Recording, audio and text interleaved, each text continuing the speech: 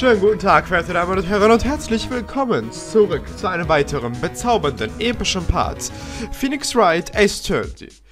Im letzten Part haben wir mit unserem Boy Großberg ein bisschen geplaudert. Und er sagt, äh, ja, vielleicht äh, war das ja gar kein Traum, was der, der edgy Junge da erzählt, ne? Und äh, wenn das kein Traum war, dann, dann äh, hat Herr Yogi Fuckboy auf jeden Fall ein Motiv, um Edge of den Mod anzuhängen. Deswegen, äh, es, es sieht schon mal gut aus für uns, ja? Zieh dir das rein, Großberg. Oho! Ist das also der Brief? Es scheint, als wäre Yogi seinem Inhalt gefolgt, als er Hammett umbrachte. Aber warum hätte Robert Hammett umbringen sollen? Hammond war ein begnadeter Verteidiger. Aber er verteidigte seine Mandanten nicht in deren, sondern in seinem Interesse. Hä? In seinem Interesse? Er glaubte seinen Mandanten nicht. Er glaubte nur an seine Fähigkeiten. Aber er hatte doch einen Freispruch erreicht. Warum also... Es war etwas anderes, meine Liebe. Er gewann diese, äh, diesen Freispruch nur um seinetwillen. Yogi war zwar freigesprochen worden, aber er war sozial ruiniert. Ne? Das werden Sie gleich verstehen. Warten Sie. Was ist? Dieser Brief. Ich kenne diese Handschrift irgendwoher. Wessen Handschrift ist das? Wissen Sie, wer das geschrieben haben könnte? Also AG auf keinen Fall. Jan Yogi hat den Brief ja bekommen. Die einzige Möglichkeit wäre der Money. Hm. Könnte es Manfred von Karma gewesen sein? Von Karma? Warum sollte er etwas damit zu tun haben? Äh, nur, äh, ich bin mir nicht sicher. Hm. Von Karma. Von Karma.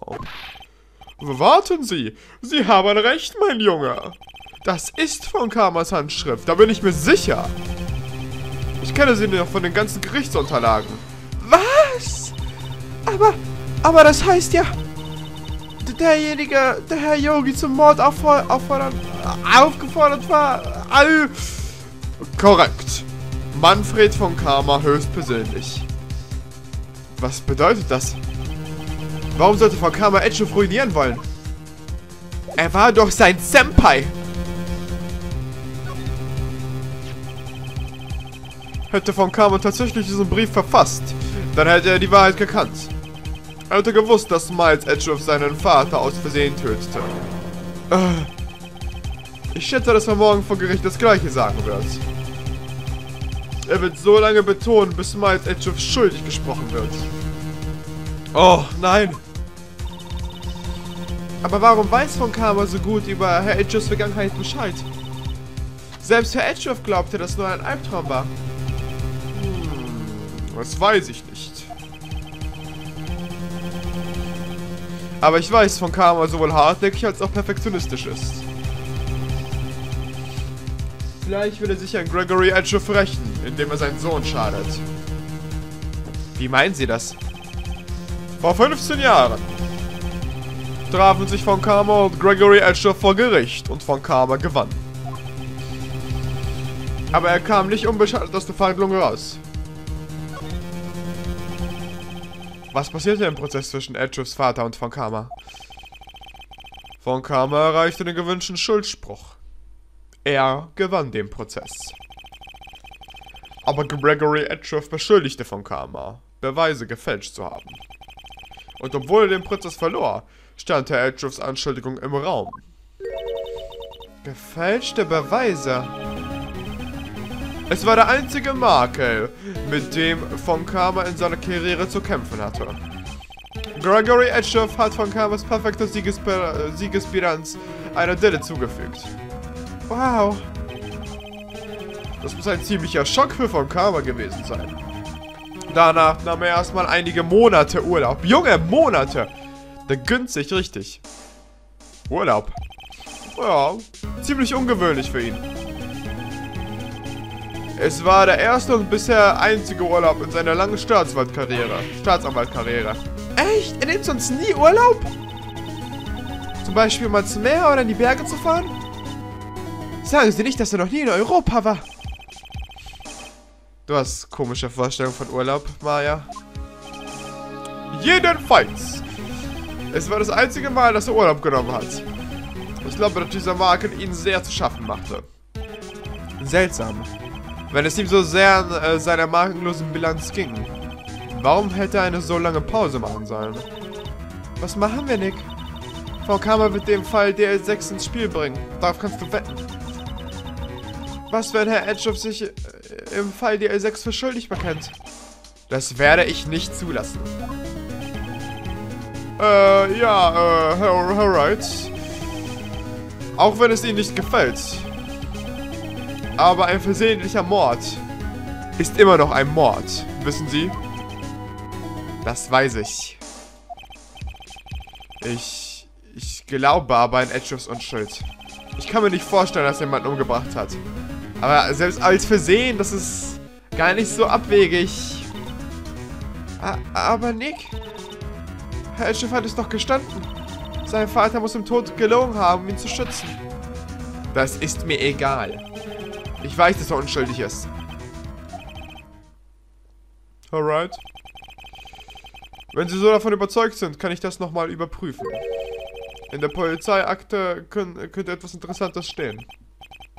Herr Großberg. Vielen Dank. Ich kann nichts versprechen. Die Chance, etwas zu finden, stehen schlecht. Ich verstehe. Die Polizeiunterlagen, ja? Danke, du Ex-Eternity. Wir, wir gehen. Du, du, du, du, Nur noch ein Tag, Nick. Ja, ich weiß. Na dann, lass uns keine Zeit verlieren. Los geht's.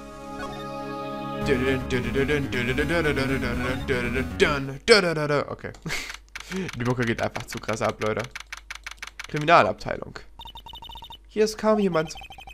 Die suchen wohl alle nach dem Alten. Nach Yogi. Ah, Sie sind es. Ich glaube nicht, dass Kamshu heute noch zurückkommt. Er ist unterwegs und sucht jemanden. Hört sich an, als sucht er tatsächlich, als sucht er Gamshu tatsächlich. Vielleicht können wir noch mal einen Blick ins Archiv werfen. Ich kann nicht jeden Zutritt gewähren. Aber ich glaube, dass Herr von Karma sich sowieso gerade dort umsieht. Solange er drin ist, können Sie auch hinein. Von Karma? Ja, er ist gerade eingetroffen.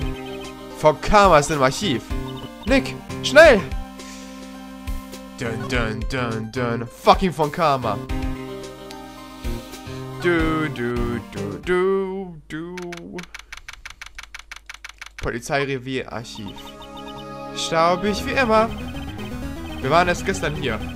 Bestimmt hatten sie noch äh, keine Zeit zu, zum Saubermachen. Was ist los, Nick? Nichts. Ich habe gerade festgestellt, dass er nicht da ist. Von Karma. Die Schublade ist irgendwie auffällig geöffnet. Hä? Eine der Schublade ist offen. Es muss jemand vor kurzem dort hineingeschaut haben. Auf dem Schild steht ungelöste Fälle. Beweise. Hm, ungelöste Fälle. Nick! Der Akte zum Fall der 6. Die Schublade ist leer. Was? Was machen Sie hier? Von Karma. Sie. Woher wissen Sie, wer ich bin? Äh? Können wir uns? Was sagen Sie da? Sie sehen uns jeden Tag, oder nicht? Wir sind die Verteidigung von Miles Edgeworth.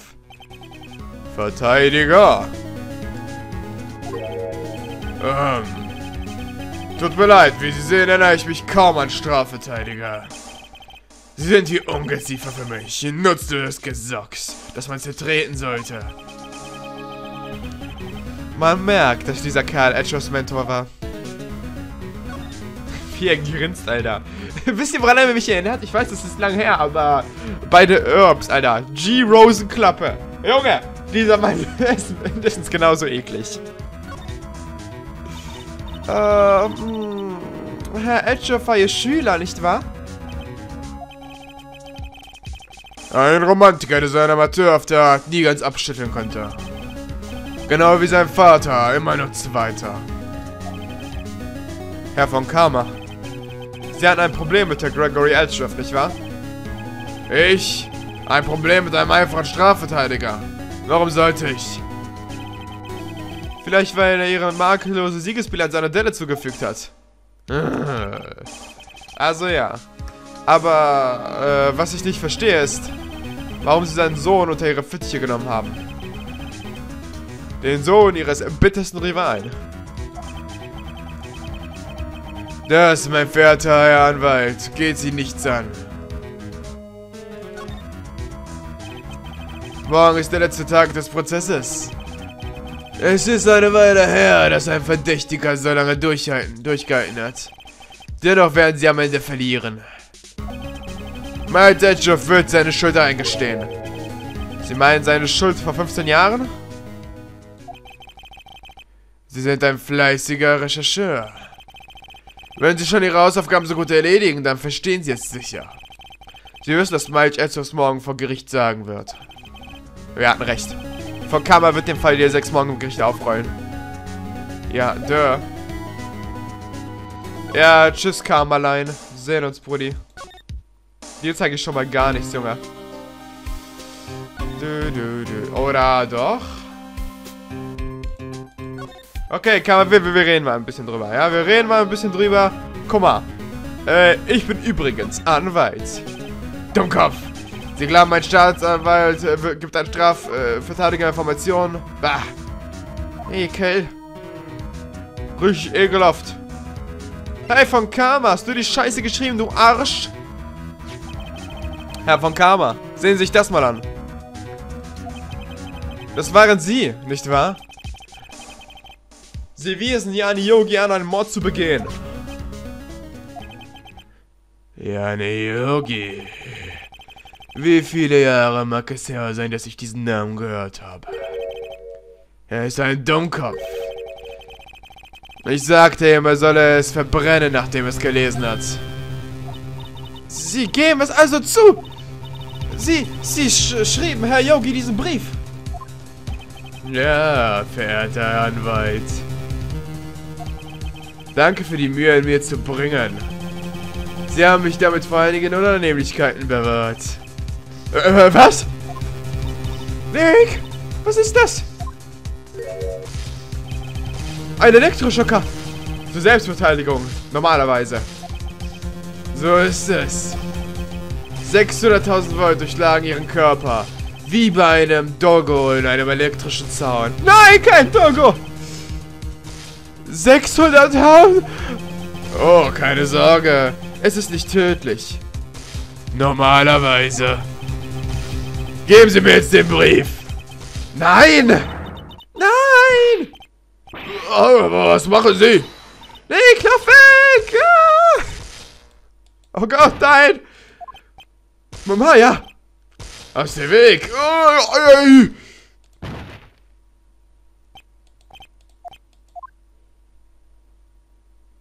Hm, Rep. Er hat uns. Der Brief ist futsch. Natürlich. Und er hat die DL6-Beweise auch. Alle. Nun stehen wir wieder am Anfang. Warte. Maya sprang zuerst. Maya, geht es ihr gut? Ma... Maya. Dieser dreckige Fuckboy. Maya, mach die Augen auf. Maya. Der Brief. Hat er ihn? Hä? Oh, ja.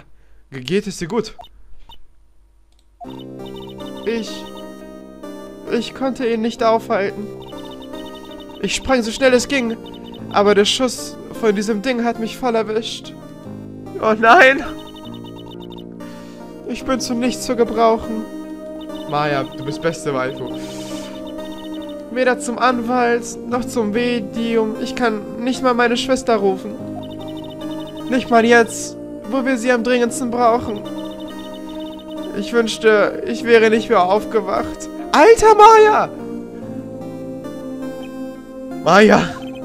Ah, muss eine Möglichkeit geben, wie ich ihr helfen kann. Ich sollte lieber erstmal äh, was für ihr Selbstvertrauen tun. Hä? Maya! Sie hat etwas in der Hand. Was ist das? Eine Kugel? Fall der 6, Beweisstück Nummer 7. Aus dem Herz von Gregory Edgeworth. Ich erinnere mich. Von Karma hielt sie in der Hand, als Maya ihn ansprang. Ich beweise es dir, Maya. Du bist alles andere als nutzlos. Ich beweise es dir morgen vor Gericht. Oh, shit, Leute. Ich bin so bereit dafür. Boah, Maya ist so süß, oh mein Gott. Gibt es eigentlich irgendjemand, der sich als Mensch kategorisiert und Maya nicht mag? Ist, ist sowas überhaupt möglich? So? Ich meine, Alter. Sie, sie ist so wundervoll. Nun ist es soweit. Die Stunde der Wahrheit. Heute wird manches endlich geklärt werden. Sehr viele Dinge. Ja. Was soll das? Entschuldige, Nick. Ich habe nur deine Schulter berührt. Noch der Schock von meiner Bekanntschaft mit äh, dem Elektroschocker gestern. Du bist immer noch geladen? Wie dem auch sei, heute ist der letzte Verhandlungstag. Viel Glück, Nick. Ja, danke, Maya. Edger sieht wie immer niedergeschlagen aus. Hoffentlich nimmt ihn von Carmen nicht zu hart dran.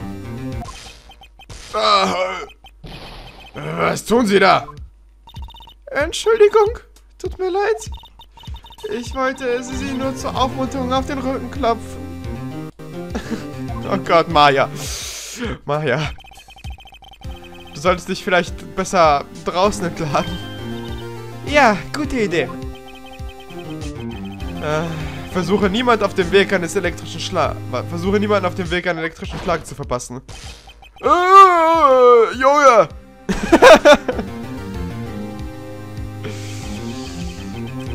Was ist nur in diese Mädchen gefahren? Inspektor Gapschuh. Morgen, Herr Schiff. Hm. Guten Morgen. Wie lief's, Inspektor? Nein, Dank, Sie versprochen, habe ich unseren aufgereisten Bootsverleiher eingefangen. Habe ihn gerade reingebracht. Hat mich die ganze Nacht gekostet, Junge. Danke, Inspektor Gumshoe. Sie sind bestimmt müde. Nach dem Schock, den ich auf dem Weg hierher bekam, fühle ich mich richtig frisch. Yogi sagt, er hat seinen eigenen Namen vergessen. Aber das muss eine Lüge sein. Warum sollte er sich an Edgeworth rächen wollen, wenn er sich nicht erinnern kann? Er erinnert sich. Und ich werde es beweisen. Oh, Alter, das wird... Das wird haarscharf, Leute. Das wird haarscharf. Fucking von Karma. Das Gericht verhandelt nun den Fall Miles Edgeworth. Die Verteidigung ist bereit, euer Ehren. Die Anklage ist bereit. Äh, gut. Sehr gut. Heute ist der letzte Tag dieses Prozesses. Ich fordere die Anklage auf, maßgebliche Beweise vorzulegen. Verstanden. Ei, ei. Kommen Sie, erstarren Sie nicht bei jedem seiner Worte in ehrfürchtigen Schweigen. Nun gut, Herr von Karma, Ihr Öffnungsplädoyer. Richtig. Dank Inspektor Gumshoe wurde der Bootsverleiher festgenommen. Am gestrigen Verhandlungstag behauptete der Verteidiger, er sei der Mörder. Dies muss er allerdings noch selbst bestätigen. Ich bitte die Verteidigung hierzu ins Kreuzwort zu nehmen. Sehr gut. Bringen Sie bitte den Zeugen in den Gerichtssaal.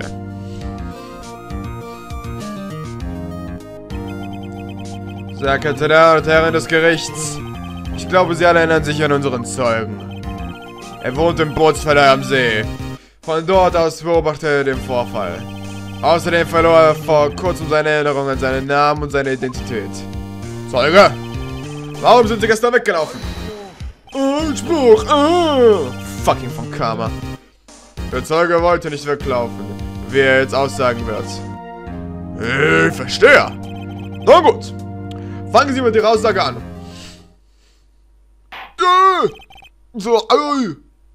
Fucking Rentner. Ich verließ das Gericht. Äh, tut mir furchtbar leid, dass ich gestern einfach ging, ne? Aber ich bin nicht weggelaufen oder so ähnlich. Ich, äh, ging Essen für Polly einkaufen, verstehen Sie? Ging davon aus, dass ich, äh, dem Vorfall sowieso nichts zu tun hatte, ne? Äh, ich meine, ich bräuchte ja ein Motiv. Richtig, und, äh, ich hab keins. Oh, hätten wir jetzt den scheiß Brief, Alter. Deshalb bleiben meine Aussagen von gestern bestehen, ne? Also, ja. Hm. Nun gut. Lassen Sie uns mit dem Kreuzfeuer beginnen, ja? Er muss seinen Namen kennen. Jani Yogi. Sie sind Jani Yogi und ich werde es beweisen.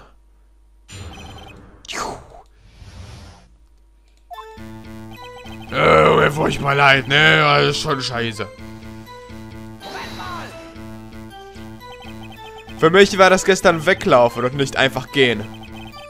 Sie haben Larrys Aussage gehört und gemerkt, dass sie in Gefahr schweben.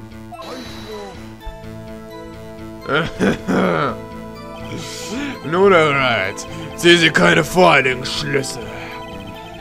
Wie ich schon sagte, der Zeuge ist nicht weggelaufen. Hören Sie die Aussage. Es sieht wirklich entspannt aus. In der Tat, sie tun es beide, von Karma und Jo- Yani Yogi. Ah, ich bin nicht weggelaufen oder so. Warum sind sie dann gegangen? Er wird es gleich sagen. Wäre es ihnen so schwer, einfach still zu sein, wenn jemand spricht? Wenn ich ruhig bleiben, äh, würde Edgehoff innerhalb von drei Minuten schuldig gesprochen. Ich will Essen für Polly einkaufen, verstehen Sie, ne? Hey. Ha, Essen für Polly, ja? Essen. Und Polly ist ein kleiner Gourmet, verstehen Sie? Sie frisst so das hochwertige Vogelfutter aus Frankreich. Äh, gibt es äh, in der Großtierhaltung in der Innenstadt, ne? Aber sie wurden erst heute Morgen festgenommen. Warum sind sie nicht zu ihrer Hütte zurückgekehrt? Haben wir etwas verlaufen, verstehen Sie? Der Zeuge hat manchmal Schwierigkeiten, sich an Dinge zu erinnern. Als die Polizei ihn festnahm, war er nicht in seiner Hütte, war er nicht äh, auf dem Weg zurück zur Hütte. Ja, genau. Netter Versuch von Karma. Keiner wird das glauben. Ich verstehe. Er hat sich also verlaufen. Bitte, euer Ehren, kommen Sie zur Vernunft. Nani! Ja, so als sie mit dem Vorfall sowieso nichts zu tun hatte, ne? Äh. Nein!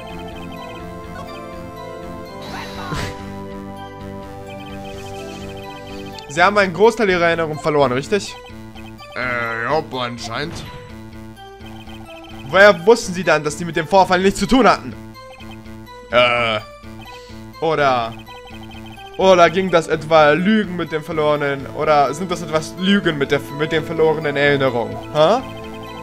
Sie wissen genau, wer Sie sind. Zeuge hat klar ausgesagt, dass er sich nicht erinnert, wer er ist. Wenn Sie behaupten, er lügt, müssen Sie es dem Gericht beweisen. Wie soll ich nur beweisen, was im Kopf dieses alten Knackers vorgeht? Das ist unmöglich. Oder dass Sie zur Vernunft gekommen sind, alright. Na gut, fahren Sie fort. Aber mal, ich brauche ein Motiv, richtig? Ich hab ja keins. Wie können Sie behaupten, Sie hatten kein Motiv? Ich sage, Sie haben eins. Sie hingen einen Groll gegen Elstoff und das Opfer Robert Hammonds. Deshalb haben Sie sich an ihn gerecht, nicht wahr?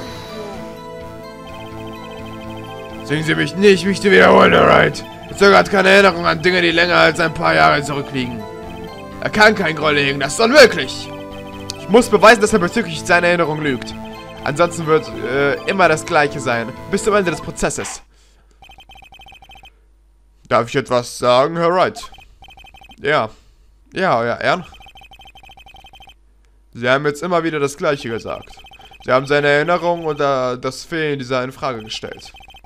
Hat das wirklich etwas mit dem vorliegenden Fall zu tun? Natürlich, euer Ehren. Der Zeuge sagte, er habe nichts mit dem äh, Fall zu tun und kein Motiv. Beide Aussagen sind gelogen. Ruhe! Ruhe! Alright, es gibt einen großen Haken bei Ihrer Behauptung. Oder wollen Sie sagen... Wollen Sie sagen, dass Sie wissen, wer dieser Zeuge ist? Natürlich, euer Ehren. Bling! Ho, ho. Und das ist ja interessant. Ich würde es gerne selbst wissen. Nun, wer ist er? Stellen Sie sich nicht dumm von Karma. Alright, bitte sagen Sie den Namen des Zeugen. Gregory Edra. Sein Name ist Yani Yogi. Ein ehemaliger Gerichtsdiener. Yogi. Der Name sagt mir etwas. Oh, Yani Yogi. Vom Fall DL6. Ich dachte mir, dass der Richter davon gehört hat. Es war ein berühmter Fall. Aber was bedeutet das? Euer Ehren, wenn dieser Mann Herr, Herr Yogi ist, hat er ein eindeutiges Motiv.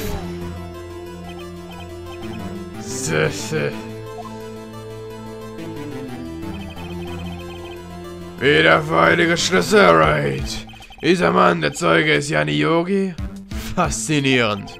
Wie dem auch sei, wie wollen Sie das dem Gericht beweisen? Dies ist ein Gericht, wie Sie wissen. Wir brauchen Beweise. Und ich darf mich nochmal wiederholen. Der Zeuge hat sein Gedächtnis verloren. Das ist es. Ich muss es jetzt tun. Wenn ich hier und jetzt nicht beweisen kann, dass er Yogi ist, dann war es das. Nick! Wie willst du beweisen? Wie kannst du beweisen, dass er ja ein Yogi ist? Beruhige, beruhige dich. Es ist eigentlich ganz einfach. Euer Ehren? Nehmen Sie bitte die Fingerabdrücke dieses Mannes. Dann können wir sie bis zu dem von Jan Yogi vor 15 Jahren aus den Akten vergleichen. Verstehe. Das klingt sinnvoll. Hä? Es tut mir wirklich furchtbar leid, Herr Wright. Warum? Der Zeuge hat keine Fingerabdrücke. Was? Was? Keine Fingerabdrücke? Äh, sehen Sie, bevor ich als Bootsverleiher arbeitete, war ich in einer Chemiefabrik. Ich verbrannte mir mit, mit die Finger mit dem Zeug. Jupp. Was? Yogi, Sie Schocker! Sie verbrannten ihre Fingerabdrücke selbst, um äh, ihre Vergangenheit zu verdecken. Hm. Nun, wenn der Zeuge keine Fingerabdrücke hat, denke ich, können wir seine Identität nicht beweisen. Nein! So, so, so. Nun, was werden Sie tun, alright? Äh. Das ist jetzt unangenehm. Hm?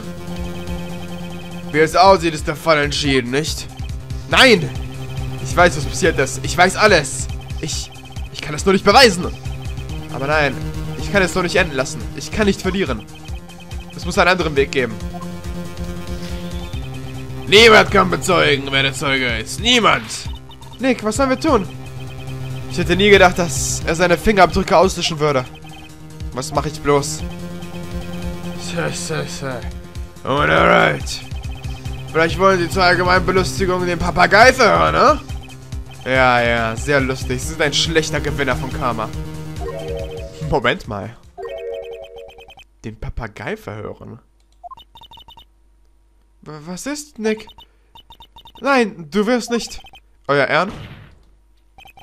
Die Verteidigung möchte gerne auf von Karmas Vorschlag eingehen. Auf den Vorschlag eingehen? Auf meinen Vorschlag? Richtig. Ich würde den Papagei des Zeugen gerne ins Kreuzfeuer nehmen. Ruhe, Ruhe! Äh, was denken Sie von Karma? Müssen Sie das wirklich fragen? Das ist eine Farce. Ich hebe Einspruch. Warten Sie. Der Vorschlag der Papagei-Verhörung kam von Ihnen, von Karma.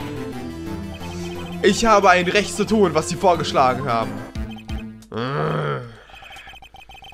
Ja, wenn Sie so verzweifelt sind, tun Sie es.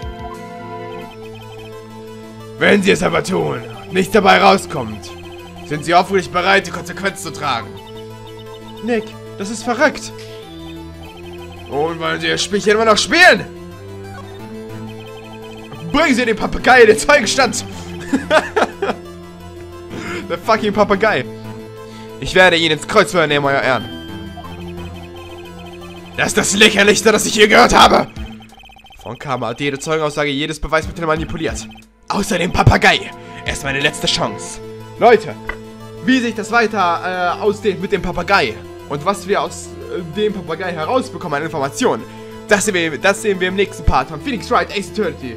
Ich hoffe, ihr hattet Spaß und ich hoffe, ihr schaltet demnächst auch wieder ein, wenn es heißt, äh, Spaß mit Papageien, ähm, mir fehlt ein Reim auf Papagei. Naja, ohne ist es auch fein. Bis dann, Leute. Ciao.